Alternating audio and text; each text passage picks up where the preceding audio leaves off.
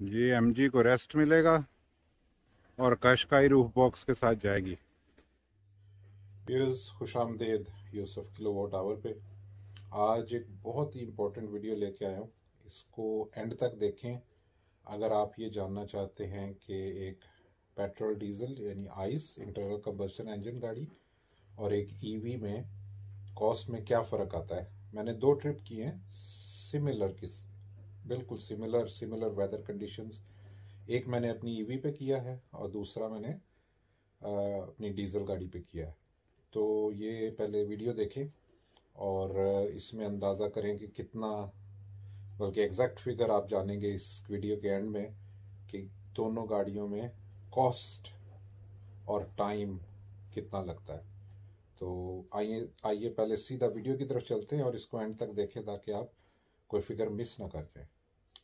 तो 330 मील किए हैं जी। और, ये है पोजीशन इस वक्त।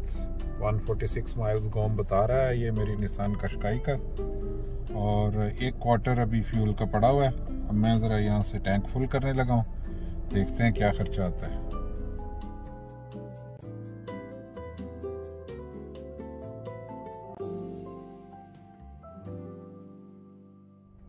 तो जी टैंक फुल कर दिया, उसको फिर क्लिक ज़ीरो कर दिया था 330 मील गाड़ी चलाई है। अब फिर टैंक फुल करने के बाद अब इसकी डिस्टेंस तो एम टी फोर हो गया।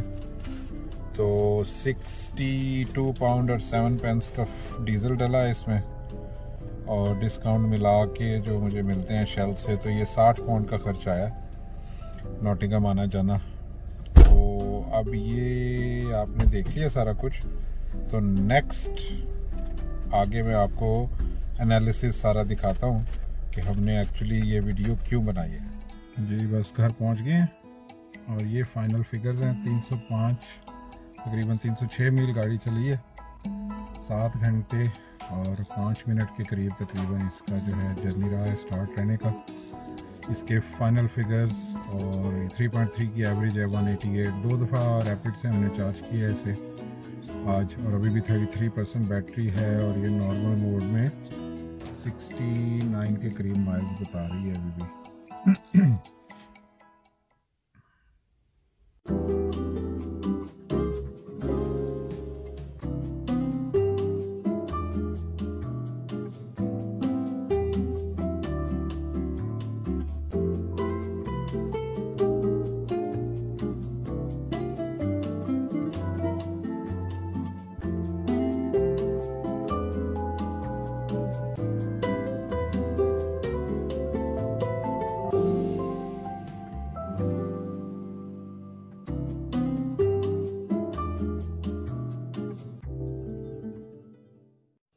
आपने देख ली दोनों वीडियो तो फ़र्क साफ़ ज़ाहिर है। मैं सिर्फ़ ये बता दूँ कि जो आइस काशकाई, जो मेरी डीजल गाड़ी है, उसमें मैंने जाते हुए एक थर्टी मिनट्स का ब्रेकफास्ट ब्रेक की थी और वापसी पे हमने एक लंच ब्रेक की थी। वो भी तक जो ब्रेकफास्ट था वो थर्टी मिनट्स की थी और जो लंच था वो भी तकरीबन थर्टी मिनट्स का। तो एक घंटे का स्टॉप था हमारा। और e है, उसमें तकरीबन 40 मिनट्स के दो स्टॉप थे तो 80 मिनट से एक घंटा 10 मिनट सो ये टाइम डिफरेंस है।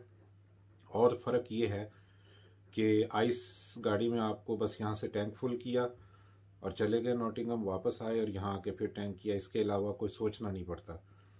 इलेक्ट्रिक गाड़ी में थोड़ी सी हिम्मत करनी पड़ती है, सोचना पड़ता है प्लान करना पड़ता है आपको कि कहाँ आप चार्जिंग करेंगे। तो थोड़ी सी एफर्ट है। इस एफर्ट के साथ नंबर एक बात जो मैं जिस नतीजे पे पहुँचा हूँ कि आप कोई एमिशन एमिट नहीं कर रहे हैं ग्रीन है C O two emission emit नहीं हो रही। और नंबर टू बात, बहुत ही इम्पोर्टेंट है वो भी आइस में लगे सिक्सटी टू पाउंड्स और ईवी e में लगे ट्वेंटी वन सिक्सटी थ्री तो ये है डिफरेंस दोनों का।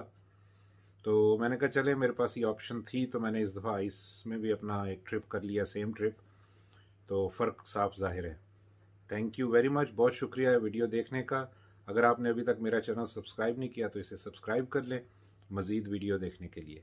Thank you thanks for watching bye